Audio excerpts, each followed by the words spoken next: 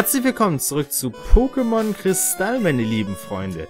Ja, ich habe oben nach vorne getan. Es trägt übrigens das Item Zauberasche. Zauberasche würde im Notfall mein komplettes Team wiederbeleben und komplett aufheilen. Aber so Notfall wird hoffentlich nie eintreten. So, die Tür öffnet sich und wir können jetzt durch und die Items holen. Wie gesagt, dafür muss Ho an erster Stelle im Team sein und dann funktioniert es.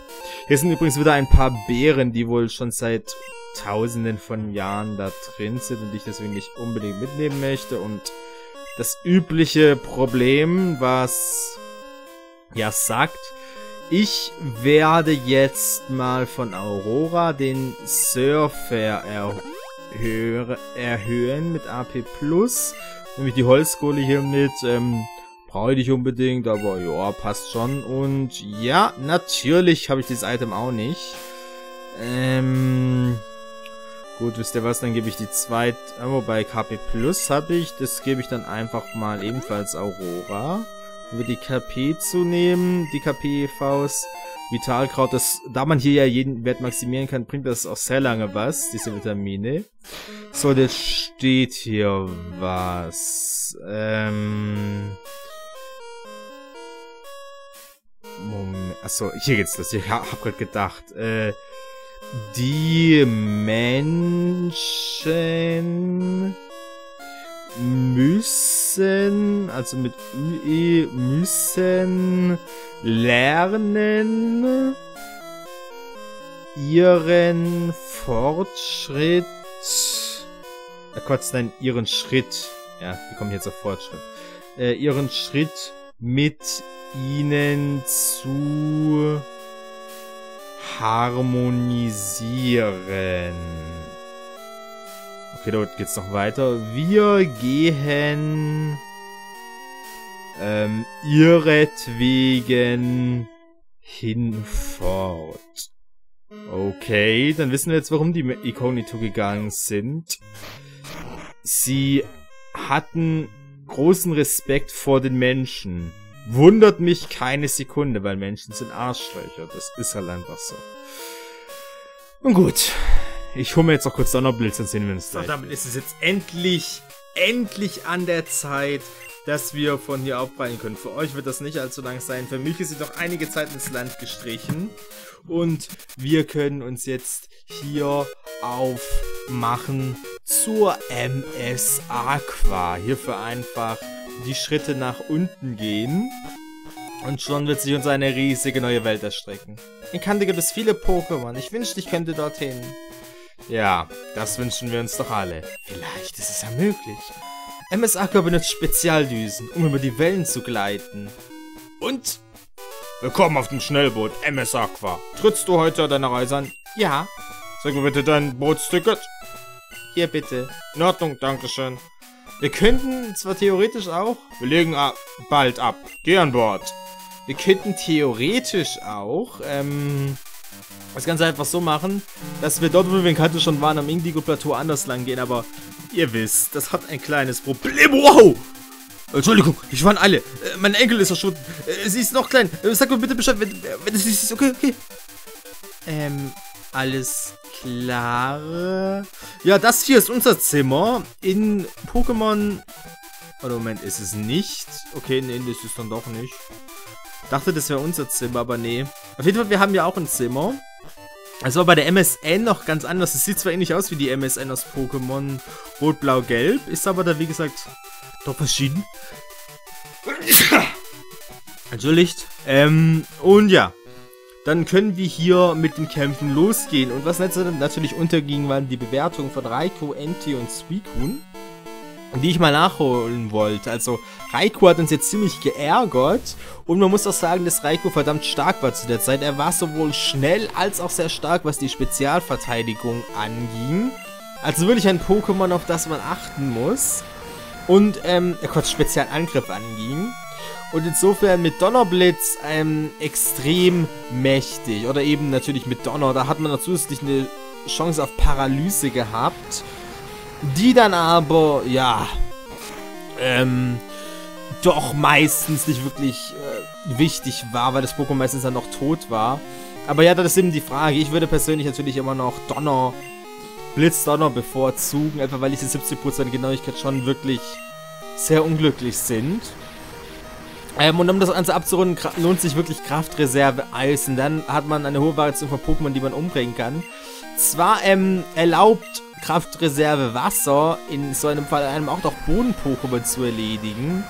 Oder eben Pokémon wie Stalos, äh, die Raikou wirklich gefährlich werden könnten. Aber diese Kraftreserve Eis ist wirklich verdammt nützlich für ähm, Raikou. Da haben wir ich meine, es ist ja kein Geheimnis. Eisstrahl zusammen mit Donnerblitz ist sehr mächtig, genauso wie Boden und Gestein zusammen. Und insofern ist das ziemlich cool.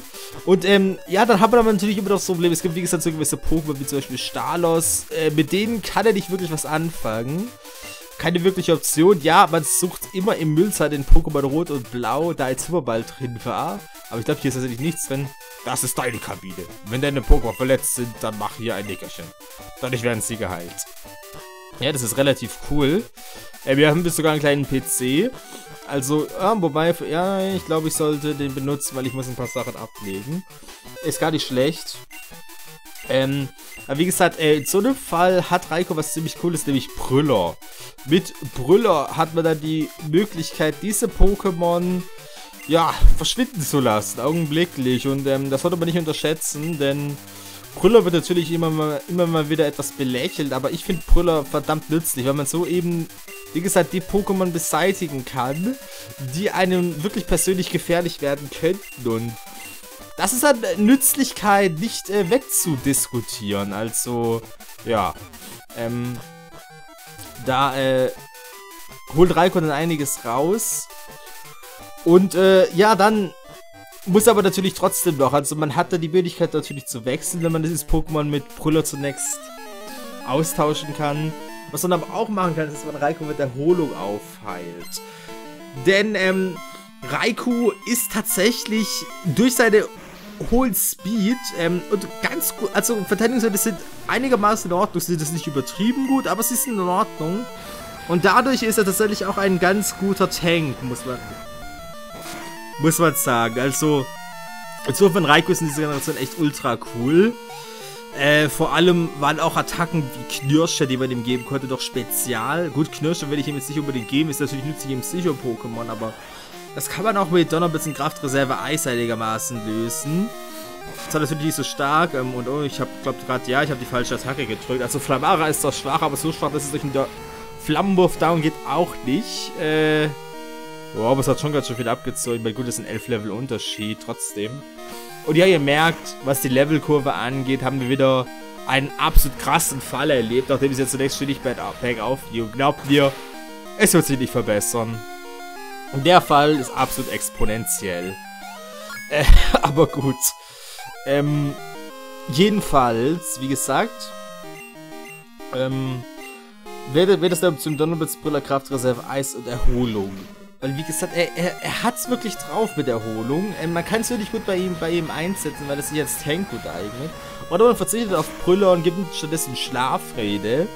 Äh, weil man ihm natürlich auf jeden Fall Überreste geben sollte, würde man sich so zwei Runden sparen, das ist klar. Ähm, da müsste man, hätte man dann keine Möglichkeit mehr, die nervigen Pokémon zu beseitigen. Das muss sich jedem übergeben, wie er möchte. Äh, Jess, ich bin's Rosemarie. Äh, ja, super. Sie jetzt immer wie ein Radfratz K.O. gegangen ist. Dankeschön. Ähm, also, könnt ihr sagen, wie ihr spielen würdet. Ich, ähm, neige fast eher zu der Variante mit Brüller. Aber natürlich Schlafrede immer hier seinen zeitinteressanten Nutzen hat. Aber, ja, ähm, wie gesagt, das bleibt euch überlassen. Alle Passagiere sind Trainer. Sie warten in ihren Kabinen auf Herausforderer. Ja, die sind voll süchtig. Oh. Das hätte jetzt ein Dreierkampf werden können. In äh, Generation ähm, 5 und 6 womöglicherweise. Das, das gibt zwar noch nicht, dass ein Doppelkampf und ein Einzelkampf so laufen wie zwei Doppelkämpfe, aber hey, Botogel!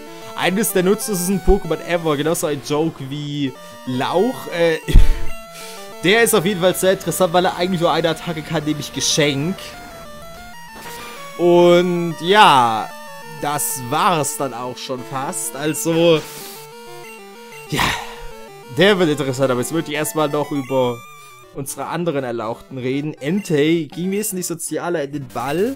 Raiko war übrigens absolut overused, muss man wirklich sagen. Der hat richtig auf die äh, Kacke gehauen. Entei hat definitiv auch einen sehr interessanten Wert. Bei Entei ist aber das Problem, er hat hohe physische, einen höheren physischen Angriff. Ähm, Verteidigung, die ganz okay ist. Und Spezialangriff ist jetzt auch nicht so schlecht, aber es reicht eben nicht wirklich, um seine, um seine Attacken hundertprozentig gut einzusetzen. Ähnliches Problem, was ja auch Flamara hat.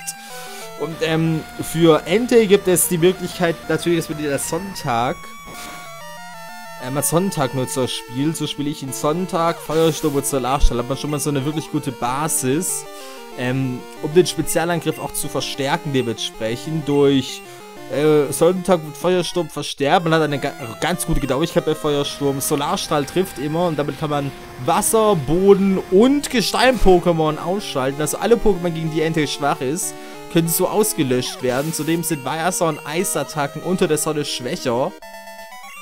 Also, ja, äh, kann man wirklich nichts sagen. Vor allem die Wasser-Pokémon werden dadurch irgendwie gesagt sehr getroffen. Und als letzter Tag, da gibt es mehrere Optionen. Man könnte ihm Erholung geben. Denn auch er kann man, ihn kann man ganz gut als Tank benutzen, um seine KP wieder zu holen, falls er lange überleben sollte. Oh, hallo. Ich kann meine Enkelin nirgendwo finden. Wenn sie an Bord ist, ist alles in Ordnung.